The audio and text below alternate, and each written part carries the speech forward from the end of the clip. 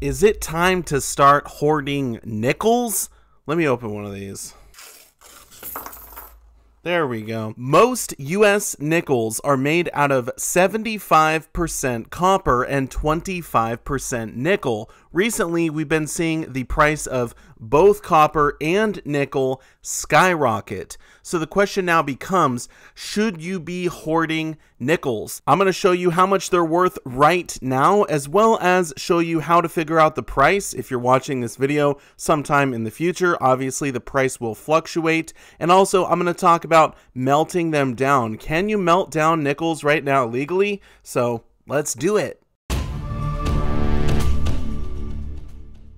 On Monday, March 7th, 2022, copper prices hit an all time high. And with all of the inflation that we are seeing across the globe, they are expected to go higher.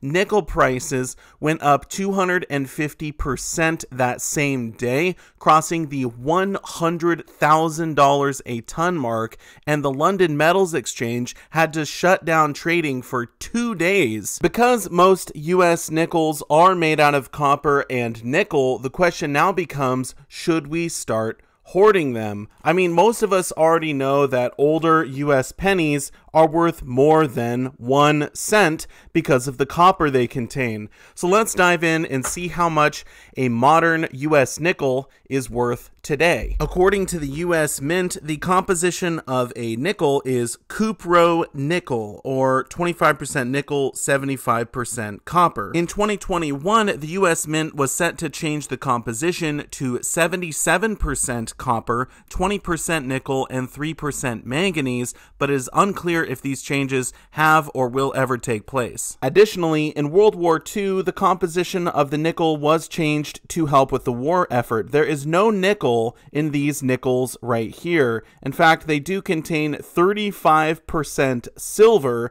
as well as manganese and copper. You can tell that these are war nickels because there should be a letter above Thomas Jefferson's house right there. And if there is a letter above the Monticello, then it is a war nickel. The dates are between 1942 and 1945. If you find one of these nickels, you definitely should keep it and hoard it because right now it's worth about $1.45. And that's just because of the silver content. Now let's put all of that aside and just look at the regular modern nickels. In fact, I went down to my bank just now and I asked them for $20 in nickels, and this is what they gave me. Now, all of these are going to be the 25% nickel, 75% copper coins. So let's figure out what they're worth. And to do that, we're going to go over to the website coinflation.com. Okay, so here we are. And to find out the metal value for modern coins, you're simply going to scroll down. They have them all listed right here. You got pennies, nickels, dimes, quarters, etc.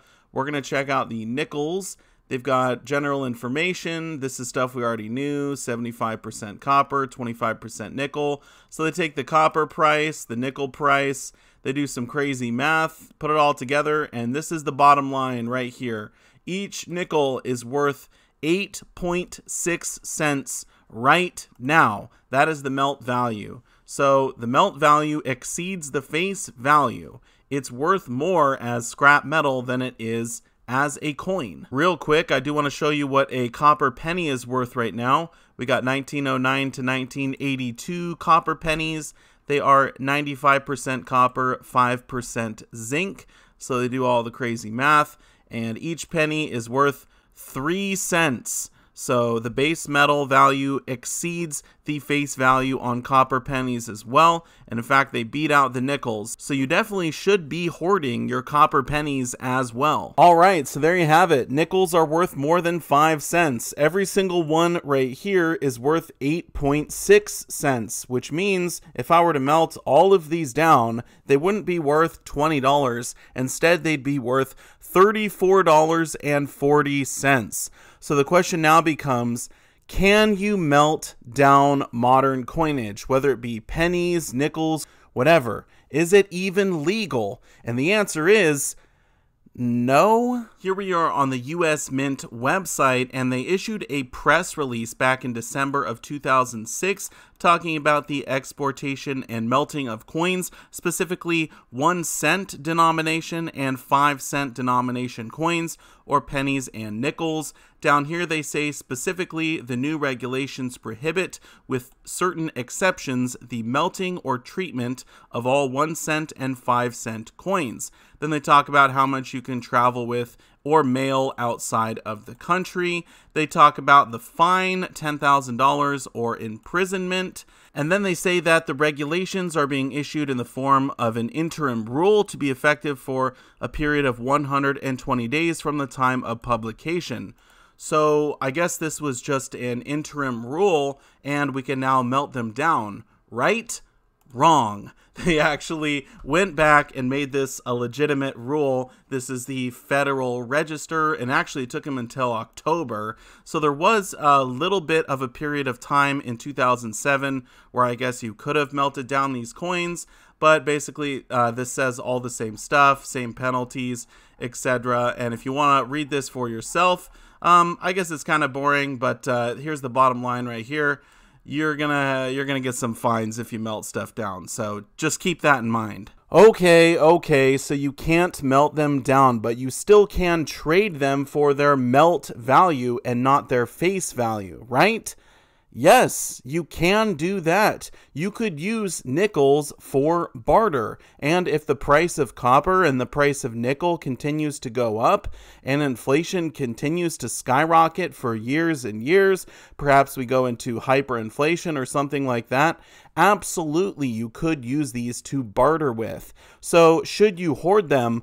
I guess if you have enough space, then certainly that is something you could do. But obviously, hoarding tons of pennies or tons of nickels is going to take up a lot of room, so that's one thing you'll have to think about. But the thing about hoarding nickels is you don't need to sort them because all of the nickels are made out of copper and nickel. I'm just dropping them all over the floor. but the pennies, you have to sort them out because the modern pennies, they're worth less than a penny. They're mostly made out of zinc. So keep that in mind. But real quick, I want to show you this company that actually sells copper pennies above their face value, and they just started selling nickels as well. I've looked on their website before and I've never seen nickels before, so maybe I just missed them, but to me, this is new. Uh, and to give you an idea of the pricing, you've got a one ton lot of copper pennies, $5,600.